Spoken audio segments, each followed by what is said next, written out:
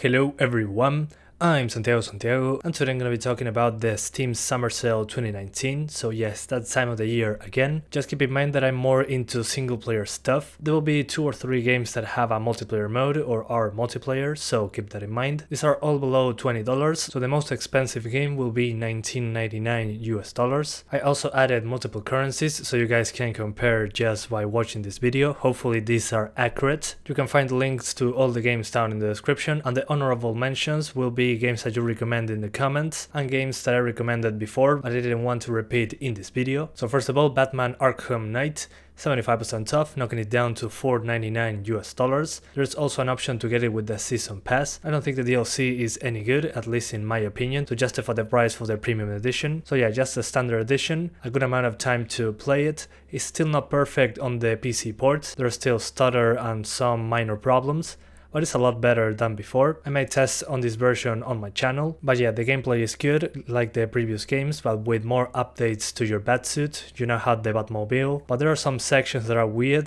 that you're just doing tank battles with Batmobile, but at least in my opinion the story is interesting and it is very fun to play. Black Mesa 60% off, knocking it down to 7.99 US dollars. It's been a while since I played this game. When I first got into it, it wasn't a paid game, it was more of a community effort. Now it's just a game on early access, and while I enjoyed what I played of the game, they shown a trailer of the Xen update, and in my opinion it looks very very good. You can find the link to the trailer down in the description. Consider this a remaster with some changes on Half-Life 1. It feels like a much modern game, so if you don't want to play the very first one, I highly recommend this one. You just have to wait a little bit for the new update, but you still have the previous levels. Deus Ex Mankind Divided 85% off, knocking it down to 449 US dollars. This is the latest Deus Ex game. Unfortunately, the story doesn't end with this one, and the next game is not being made right now. But what it is, and the time you spend in the game, I think that 449 is fantastic. There's a lot of upgrades to do to your character,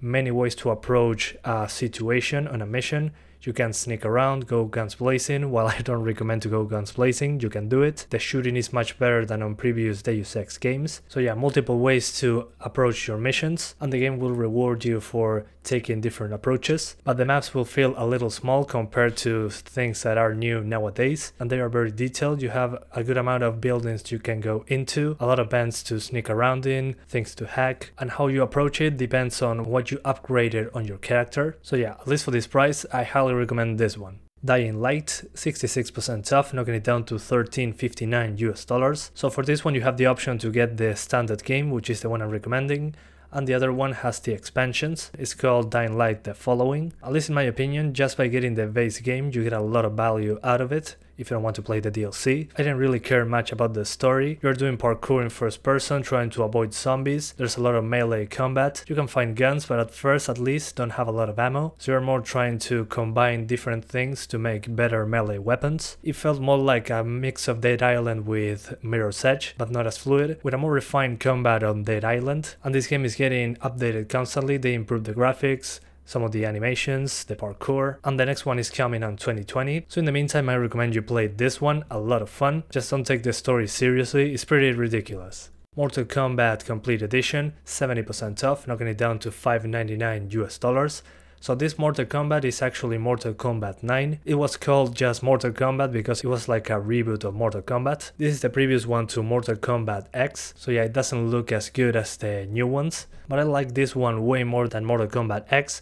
The story is a lot better. The characters are the ones that you actually know from the previous games. But if you play Mortal Kombat 10 or Mortal Kombat 11, the combat will feel significantly better. So yeah, just for the story and the combat itself, I recommend this one. If you want to pay a little more, you can get Mortal Kombat X. They are very similar in price, but again, I personally like this one more. It's released on the PS3 and Xbox 360, and there's a lot of content here for the price. Payday 2, 75% off, knocking it down to 249 US dollars. So I love the Payday series. I played a lot of the first one and a lot of this one when it was first released. I have over 200 hours on it, and there's a ton of things they added at that time, from the first version to the one we have right now. The only problem with this game is that there's a lot of DLC, but I mean a lot, hundreds of DLCs. If you really like the premise, get the Ultimate Edition. It includes, as far as I know, all the DLC. The missions you don't really need the DLC to play them, just that the host owns the DLC mission, so that's a good thing I like about this game. But I really like the shooting aspect of it.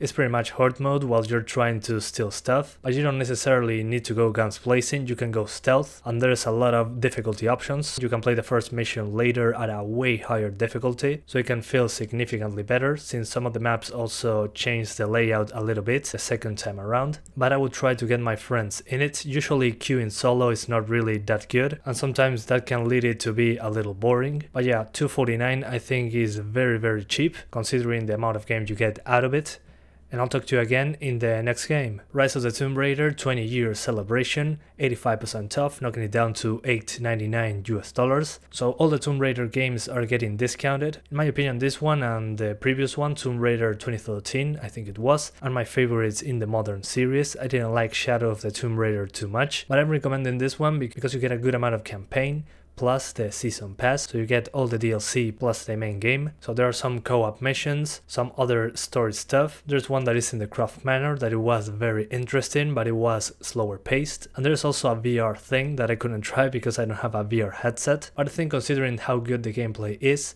plus the amount of content you get for this price, you cannot really go wrong with it. I'll talk to you again in the next game. Rainbow Six Siege Deluxe Edition, 60% off, knocking it down to 11.99 US dollars. I'm recommending the Deluxe Edition because on the Standard Edition, yeah, it's a couple dollars less, but you just get the standard operators. If you get the Deluxe Edition, you get the Year 1 operators as well. So by doing this, you can unlock the main operators and you have some of the DLC ones, but you have a good amount of operators that are not playable unless you pay with them with currency, that is a lot of grinding, or you pay real money for them. I think this is the best balance for the game, plus trying some of the good extra operators. So yeah, considering the amount of hours I spent into this game, I can highly recommend it for just $11.99. So yeah, I think this is a good deal. Sniper Elite 4, 80% off, knocking it down to 11.99 US dollars. This is one of my favorite franchises because I really like sniping in video games, and this one takes it to the next level. When you shoot some critical part of the body, you get a slow-mo X-ray cam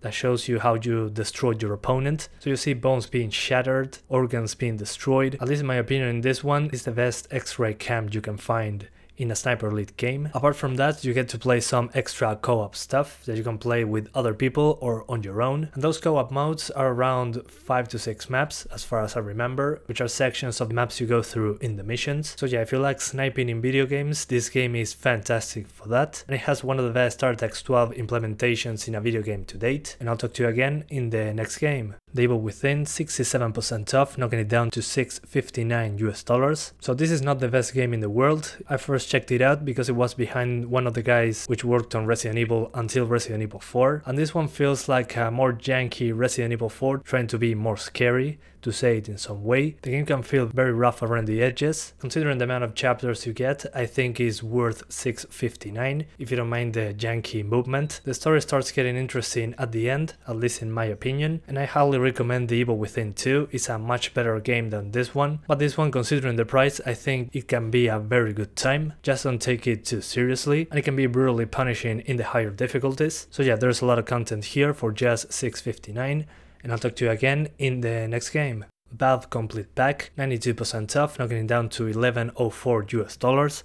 Sorry that on this one I couldn't make the price converter work, but I saw that in some regions this pack is not available, so yeah, check your Steam store to see what the price is. I really can't stop recommending this pack to everyone when there is a Steam sale. For just 1104 you get all the CS games, all the Left 4 Dead's, Day of Defeat, the Portal games, Team Fortress Classic, and also Half-Life 1 and 2. So yeah, you have a ton of hours of gameplay here. I know some of these games are really really old. If you don't own any of the Valve games or want to complete your collection, I highly recommend this one. And I'll talk to you again in the next game. Vampyr or Vampire, whatever you want to call it, 60% off, knocking it down to 19.99 US dollars. This is the most expensive game I'm showing you in this list. While the combat is not perfect, I really like the premise behind it. You convert into a vampire, but you're also a doctor, and you meet people in different places, so you try to earn the trust of the characters, but you also have to survive, to say it in some way, as a vampire. You can consume those people as a vampire and get points to improve your attributes, but the longer you gain the trust of that person, the more valuable it will be when you consume them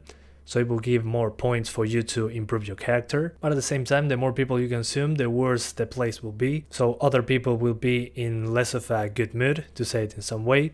So I like the dynamic of that. So yeah, the choice is up to you. That's what I like about it. They don't force you to do any of that. And I'll talk to you again in the next game. The Witcher 3 Wild Hunt Game of the Year edition, 70% off, knocking it down to 14.99 US dollars. So yeah, another Steam sale, another video I recommend The Witcher 3. For just 14.99 you get the base game plus all the expansions. So for 14.99 you get a ton of exploration, combat, story, and the story, at least in my opinion, is super interesting. Sometimes you're just playing the game, playing a quest, and you don't realize that it's a secondary quest but it feels like a main quest for all the production value behind it. So yeah, the base game plus the expansions, 14.99. I think this is one of the best deals. I'll talk to you again in the next game. And finally, Wolfenstein The New Order, 50% off, knocking it down to 9.99 US dollars.